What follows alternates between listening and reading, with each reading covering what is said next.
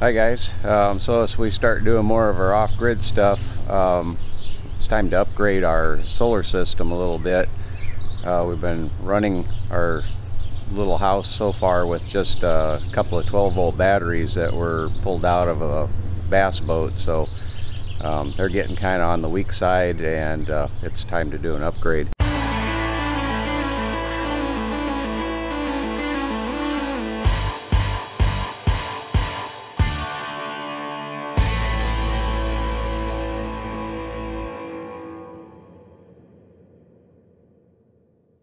Going to be the start of our storage for our uh, system.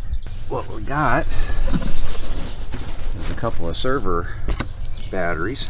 They seem to be well packed in here. So there's a couple of cables here that uh, can be used to parallel the batteries together.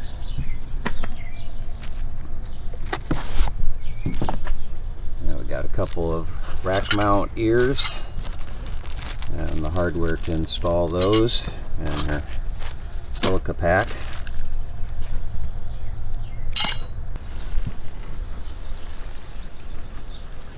Okay, these are uh, 100 amp hour batteries and they're 48 volt but they charge up to 51.2 so they're claiming they got 5,120 watt hours available on them. And these measure about six and an eighth inches so they're supposed to take up uh, 3.5 rack units. And it's 17.4 inches wide so about 7 sixteenths. And then they should be about standard uh,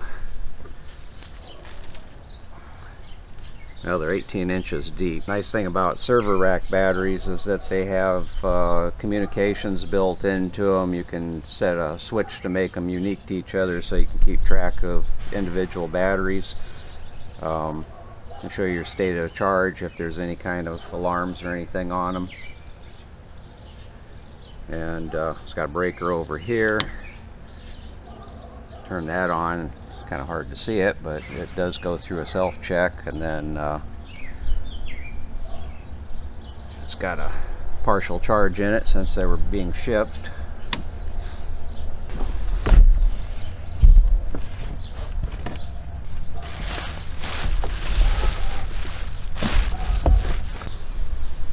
Okay, so the idea with uh, using server batteries is that it's pretty easy modular system. They're a nice compact uh, unit at 100 pounds a piece. They're kind of annoying to uh, move around in that so it seemed like the best solution was the rack mount batteries. Let's put them into a, a server rack.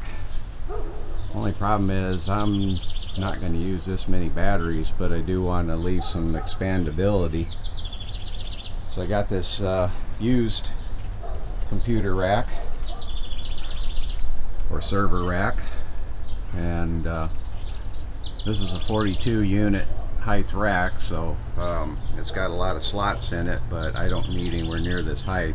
We're going to cut it down and turn it into a smaller unit so it doesn't take up quite so much space. It did come with some interesting uh, wiring boxes here with breakers on them that uh, fed all the computer components that had previously been in it and uh, a lot of this is bolted together so um, I'm going to go ahead and break this thing down and uh, we'll see what we got and then figure out a way to uh, make it a little bit more compact.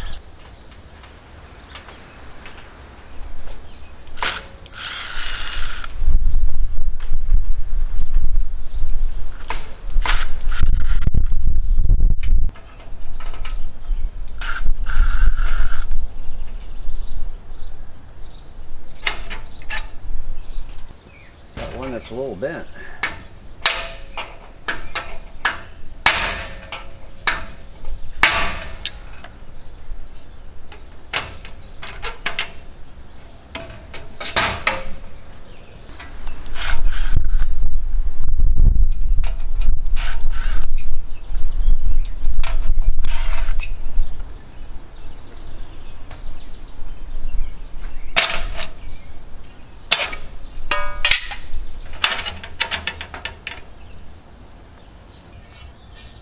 Going to save all these shelves. This will be perfect for the batteries to rest on top of.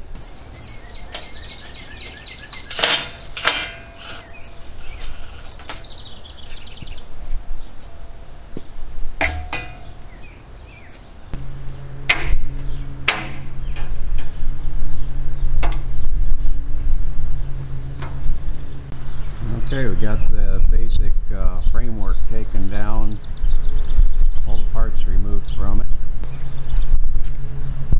And we got a good pile of parts here to uh, put things back together the way we want it.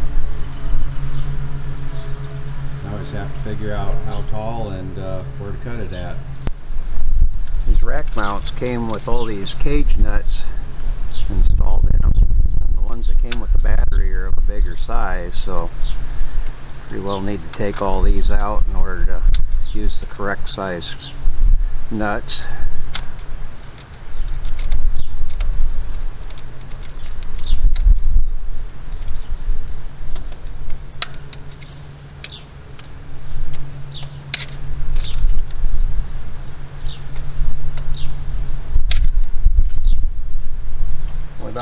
more to go. We tested one of the batteries inside of the cabinet here just to see uh, exactly how much room we had and how parts were going to physically space out and the shelves are kind of setting the pace on things here.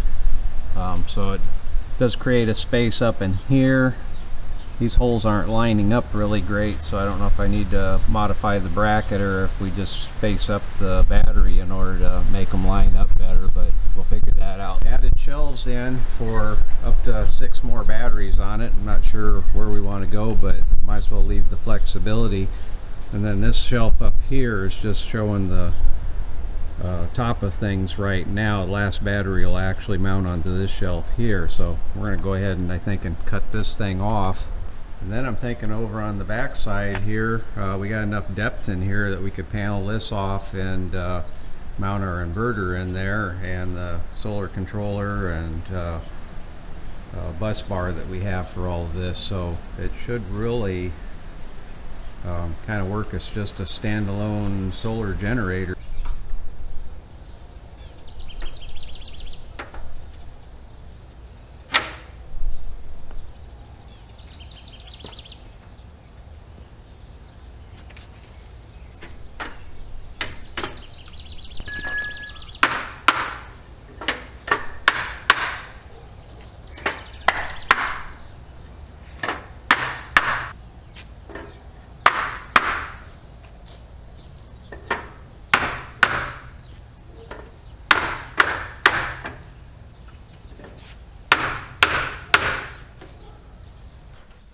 Okay, we put some uh, cement backer board inside of our cabinet. This is kind of a isolator.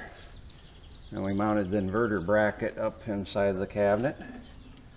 Now it's time to see if this thing will hang on here.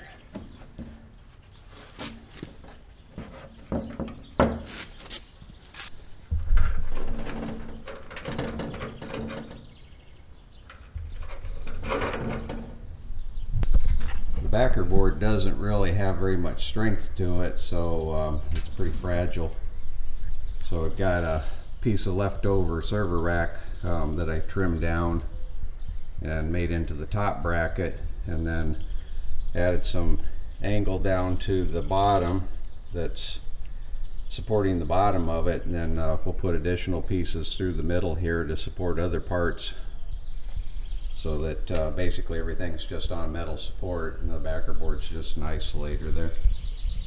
Decided to go ahead and lay the rack over on its side. Um, it's going to make it a lot easier for laying out parts, but this is where everything ended up getting mounted.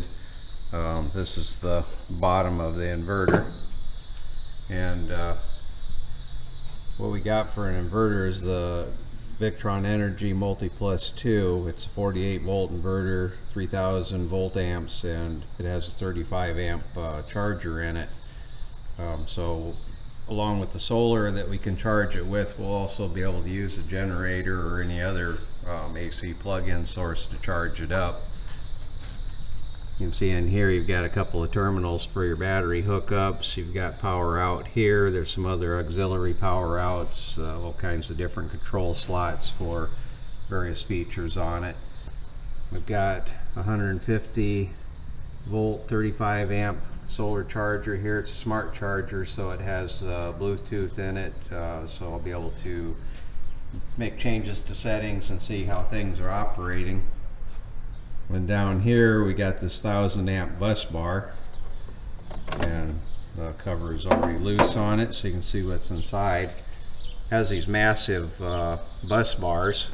These caps are removable and uh, you can chain these things together by bolting them onto the end of another unit. Um, they have these that have electronics in them that'll show you which fuses have blown out if you're using fuses. This block doesn't use fuses in it, but it's possible to add same size bolts into these holes here after removing this plastic cover and uh, that can be converted so that it can use fuses. So you have wires that can come in through this slot right here and connect into this bus bar here which is the black ground and then you can set another wire over the top of it and go over to this other side or you could also put the bolt in here and then connect onto a fuse here so it's a lot of different options in there um, if you just want to keep things simple well this is the battery rack with all the solar components installed. Just a quick view of what it uh, looks like. We're going to haul this out to the mountain. Um, I'll take it apart and repaint the frame on it since it got a little scratched up and welded on and all that. But uh, I did put these in the wrong location so I have to move them so that I can fit a rack up in the top but that's a minor problem and these are the shelves that the batteries will go onto uh, supports back behind the components for the heavier things okay just to summarize the basic setup that we have here in our uh, solar battery box We have the main terminal strip right here, which is going to have the positive and negative from the battery attached to that. Then there's going to be two heavy cables that will go from here up to the terminals inside the inverter.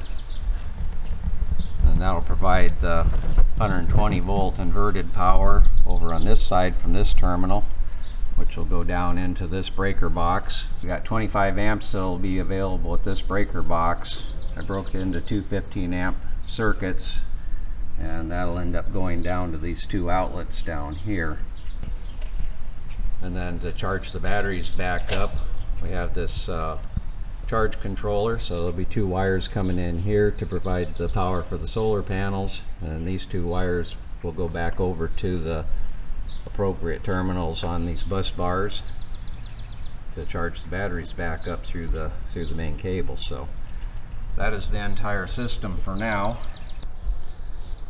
So thank you for watching. Thank you for subscribing.